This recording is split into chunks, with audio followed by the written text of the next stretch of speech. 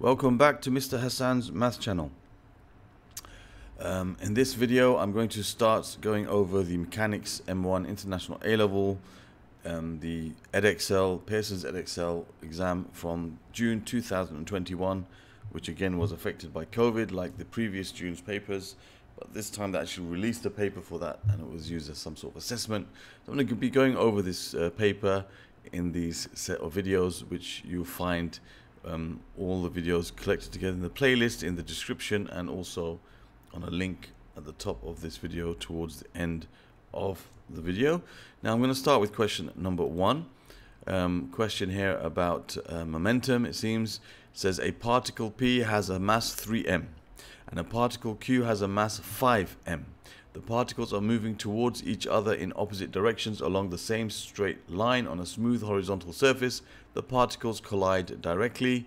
Immediately before the collision, the speed of p is ku, where k is a constant, and the speed of q is 2u. Immediately after the collision, the speed of p is u and the speed of q is 3u.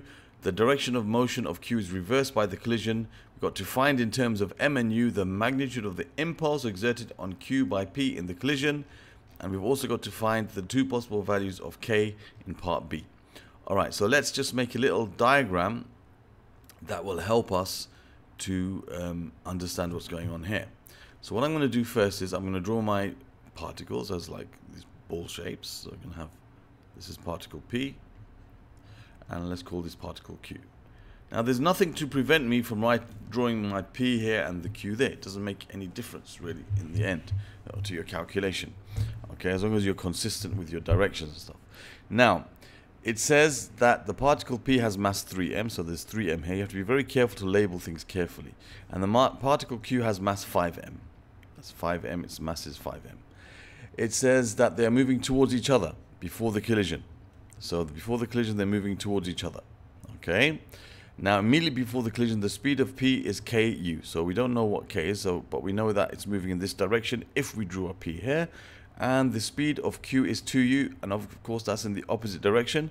They're moving towards each other. Immediately after the collision, immediately after the collision, the speed of p is u. So, and the speed of q is 3u. The direction of motion of q is reversed by the collision. So I know for sure Q has changed direction and it's now 3U in the opposite direction. As for P, we don't know whether it's changed direction according to this question. It just gives us its speed. We know that it's U, but is it this direction or this direction? We don't know. Okay, and that's the reason why in part B it says find the two possible values of K because there's two possible situations here. But that comes for part B. Now, it says Find in terms of m and u the magnitude of the impulse exerted on q by p. All right, so there's an impulse when they collide which causes a change in motion of q. It's the impulse exerted on q by p. And you have exactly the same magnitude impulse exerted on p by q, but in the opposite direction, of course, because that direction is what changes the motion of p. But the impulse exerted on P by Q is going to act in this direction. Okay, and the impulse, the formula for the impulse, is given by the mass of the object times the change in its velocity, mv minus mu, which is just factorized. The change in momentum of an object. The impulse is the change in momentum, which is the mass times the final velocity minus the mass times the initial velocity, which this is just the same formula but just factorized to make it easy for you to calculate. But be very careful here because the, the M here stands for the mass of P. So I'll just put this is the mass of P, and this is the velocity of P, and this is the initial velocity of P. So the mass, sorry, of Q, we're, we're looking at Q, not P, Q. Okay, we don't have enough information for P, for P yet. So this is Q, and this is Q, and this is for Q, right? So the mass of the particle Q is 5m its final velocity, now we got to decide what we want to take as positive. I'm going to take the right as positive. Okay, just to, you know, normally that's what you do. So I'm going to take the right as positive here. Okay, so in that case, the final velocity of q is 3u, positive. And the initial velocity of q is going to be minus 2u because it's going in the opposite direction. to what we call positive after the collision. So before the collision it's going this way, okay, which is opposite to our positive, and after the collision is going that way, which is the same as our positive. All right, so I can say that the impulse, therefore, the impulse that we need, which is the impulse exerted on Q by P, is equal to the mass, which is 5m, times the final velocity of Q, which is 3u, minus the initial velocity, which is minus 2u. So be very careful with your signs here. It's minus minus 2u. That's going to give you plus 2u. So you're going to end up with 5m times 5u. So it's 25 m mu. That's the impulse exerted on Q by P. All right, that's its magnitude. It's also positive according to our. But what we could say is they only want the magnitude of the impulse. So what we would say here, if, if they said find the magnitude and the direction, you would say that the magnitude of the impulse exerted by Q on P uh, by by P on Q is equal to 25 mu, and its direction is in the initial direction of or in the opposite direction to the initial direction of Q. Okay, something like that. But you don't have to worry about the direction here because they just want the magnitude of the impulse and not its direction. Okay, so that's how you deal with part A. Then it says find the two possible values of K. Now, how can you have two possible values of K? It's because we don't know what happened to P after the collision. It's either U in this direction or U in this direction. So there's two scenarios that we're going to have. Okay, uh, two different cases that could possibly happen um, after this collision. One could be that the direction of P was reversed and the other one could be that the direction of P remained the same direction but just changed from KU to U. Okay, so we're going to look at the two different possibilities. One, we can say, whoops, what happened there? We can say for the first situation is that the direction of P was reversed. The direction of P is reversed. Okay, in that case, if we look at that situation, then we're looking at this case here. This is case one.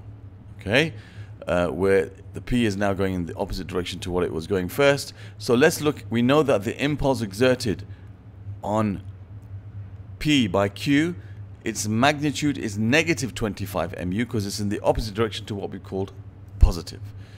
Okay, impulse has a direction, but in the first question we only asked to give its magnitude.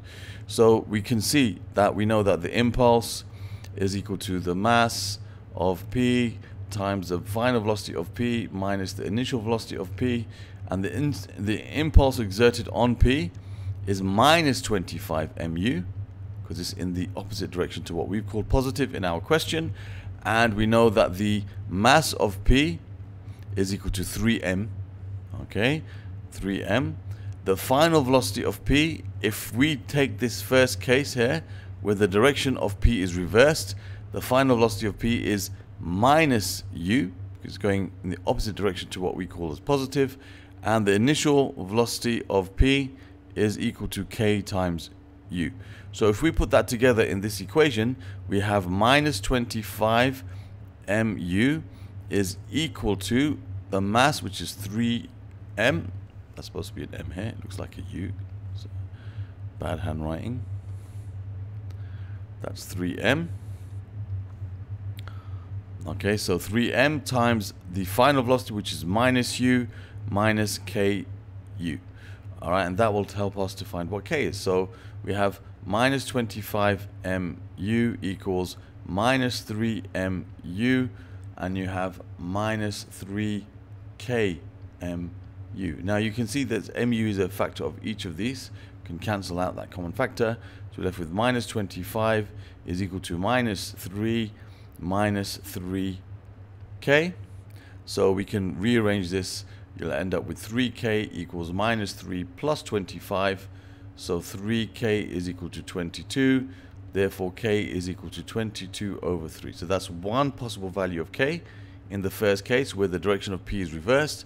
And then we have another situation, which I'll just uh, try and fit in this part here.